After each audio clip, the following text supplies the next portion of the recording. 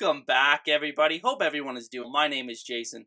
I'll be your host on this CFL talk show, Hussey's Huddle. In this video, I'll give my game picks for Week 13 of the 2021 CFL season.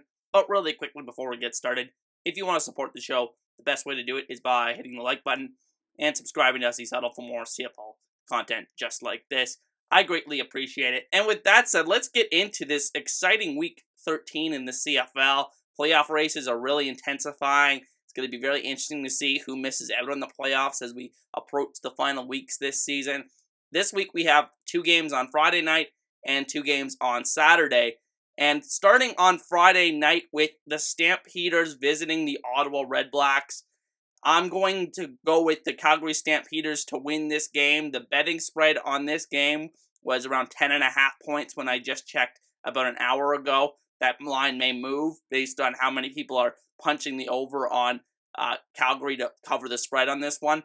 But honestly, I think this is kind of a get right game for Calgary. I think that uh, we're finally going to see a really good offensive performance like we have seen other teams have against Ottawa. I think it's a similar situation to Hamilton uh, game last week against Ottawa where they really got back on track offensively. And I think we're going to see a similar thing happen with the Calgary Stampeders this week. Uh, I just don't think that this Ottawa Red Blacks team is uh, uh, capable of beating the Calgary Stampeders right now. I think that you know maybe they keep it a little bit closer. It's going to be interesting to see who they start at quarterback. I think it's going to be Duck Hodges, but I I uh, haven't confirmed that by looking at the depth charts before I did this video. But going to be very interesting to see how it goes with the Red Blacks and if they can keep it a game here on Friday Night Football. But honestly, I'm just going to go with Calgary to win this game. I think it's going to be uh, 31 to 10. I don't know. I just I just don't have much faith in Ottawa really to keep it close. I don't think they have the type of defense that will uh, cause Calgary to have the struggles that they've had so far this season, and that's why I'm going with the Stampeders to win this game. And then the second game of the doubleheader, Edmonton and Hamilton, going to be a really interesting game because this is a potential trap game for Hamilton. Edmonton coming off the bye week, had an extra week to prepare for this matchup. And Hamilton's got to be careful. They really need to capitalize and win this game, get to that 6 and 5 record. If they can win this game and win next week against BC, they're in great shape um, the rest of the way and positioning themselves for a home playoff game this week this uh, year in the CFL. And it's going to be really interesting to see if Jeremiah Masoli can continue his good play from the previous two weeks, like the game he had against Toronto, and then following that up with a really, really strong game against Ottawa in week 12. So I'm going to be very fascinated to see what happens there with Masoli. I'm going to be watching how Brandon Banks uh, does this week. Having uh, one of his better games of the season, still wasn't fantastic last week, but we'll see if he can get some forward momentum going that he hasn't been able to do so far this season. And for Edmonton, I'm watching for Taylor Cornelius and seeing if he can really uh, fend off Nick Arbuckle, who they just traded for this week. Uh, obviously, Arbuckle not going to be dressing this week, has to quarantine, but um, going to be interesting to see if Cornelius can play well enough to kind of hang on to that starting job for a little bit. Again, a, a lost season here for Edmonton. They mathematically are not eliminated yet from playoff contention. I think it's like a 2% chance of making the playoffs, but I think their defensive line can uh, give Hamilton some troubles. Hamilton obviously has had some issues with pass protection this year, but I think it's looked better the last couple of weeks. And I think Don Jackson is going to be starting at running back for the Tiger Cats in this game. So there's interesting elements to watch in this game. But ultimately, I think Hamilton, who is favored by around five and a half points, I think I saw. Um, I think they win this game by a touchdown, and uh, I think it's going to be 24 to 16, the final score for the Hamilton Tiger Cats in this one. And then on Saturday, I think we have the two best matchups of the week. BC traveling to Toronto. BC's backs up against the wall, absolutely getting humiliated last week by the Winnipeg Blue Bombers and the previous week by the Calgary Stampeders as well. The line on this game was around three points in favor of Toronto when I looked this morning, and it's going to be interesting to see if Toronto can uh, regroup themselves after a, a, really tough game on the offensive side of the ball last week against Montreal uh, in a really crucial game for their season but they have not lost at home this season, which is the key thing to remember here. Um, and I think there are a lot of elements in play here that are going to make this a competitive game. I really don't see BC getting blown out for a third week in a row.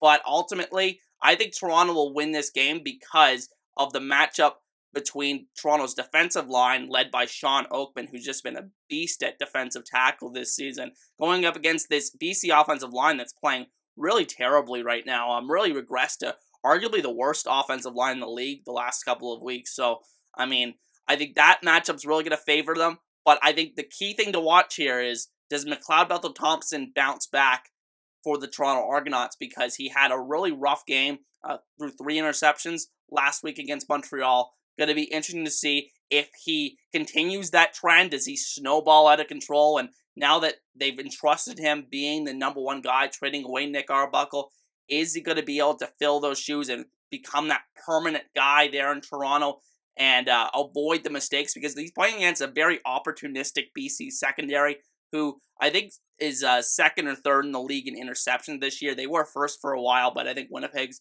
uh, passed them up in that regard.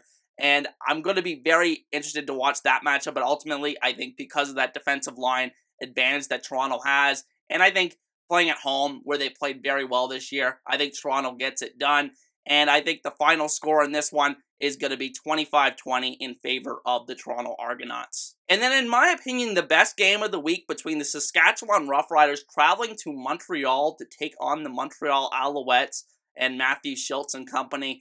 Uh, Montreal's played really well the last few weeks, uh, been very impressive. I think the thing with them is that it was almost like they were written off when Vernon Adams went down to injury as a team that could challenge for first in the East, even though they were right in the mix of things after stringing together a few wins here. And now they're won four in a row, and their confidence is really at a sky high level, playing at home uh, this week. But here's the thing I'm going to go with Saskatchewan to win this game uh, because Cody Fajardo, it seems like in his career, he the last couple of seasons, he has played very well against the Eastern competition. You think even this year, uh, played very well against Hamilton early this season, played very well against Ottawa. I mean, a lot of teams played well against Ottawa, but uh, played very well against Toronto. I think those are three of his best games he's had this year.